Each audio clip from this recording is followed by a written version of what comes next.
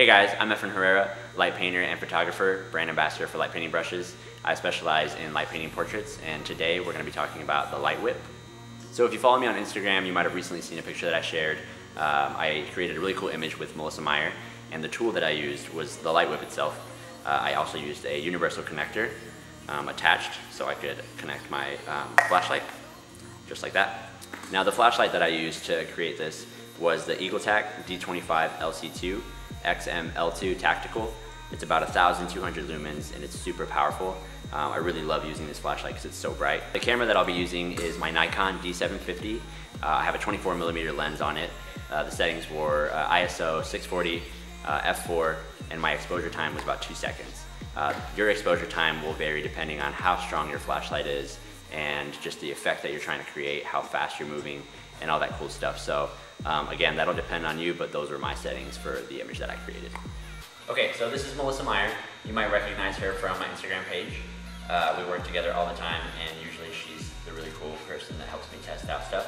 Uh, so what we're gonna do right now before we turn the lights out is we're gonna show you a couple of traces that we like to do and uh, just show you how I do them so you can see. And then we'll go lights out and you can see uh, it happen in action. Cool?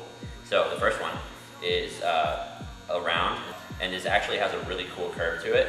Um, it just kind of curls up a little bit and I kind of like that. So uh, I try to keep that facing in towards her and not away.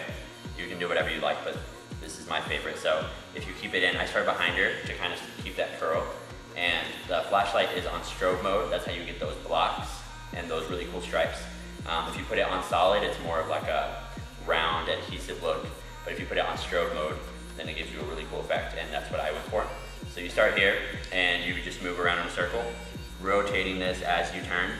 You go all the way around and back up. Now make sure when you get in front of the model, you wanna try and drop just a little bit so that the light isn't in her face, and you won't light paint over her face, and you can see uh, who it is, right? So we're coming around. I start high to get that really cool effect. I'll come around and I drop all the way around and then come back up around that way. It's a really cool shape and you can see the model's face as well. Cool?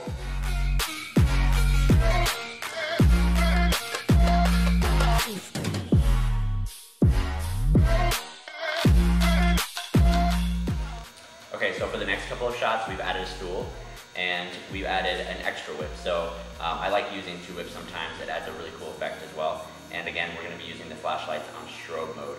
Uh, so we get the really cool blocks. But when you add them together, uh, you get an overlap or uh, a multitude of blocks at the same time. So on this one, um, I'm just holding both of them together. Make sure you hold your flashlight so they don't fall out. And the curves don't really matter. You can have them go opposite or um, against each other, whatever you want. I'm keeping them almost the same here so they can kind of just roll at the same time. So uh, I started for this one, I start by her feet, and again, you're gonna roll around. A lot of this, uh, make sure you see and pose your model correctly uh, or according to. You wanna make sure you get enough ambient light on their face so that you also get to see who it is, unless you're going for a silhouette, then that's up to you. But I like to get enough ambient light and move slow sometimes so that I light them as well. So if I start here, uh, I roll through here and I come around. Again, I like to keep the curve going inwards and I turn out. Yeah, so we go from here and I come around, maybe slow down around the face, create enough ambient light, and then come around.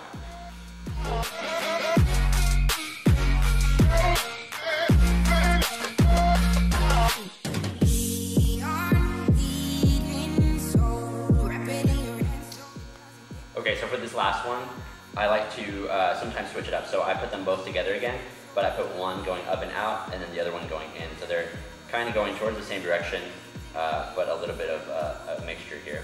So you hold them together, and again, they're on strobe mode.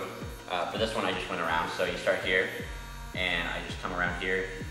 Most of the time, you will be wearing black clothing, so try to make sure you wear gloves, uh, maybe a hood, so that the ambient light that you're trying to create on your model isn't shown off on you, and uh, then that way you're caught in the picture as well.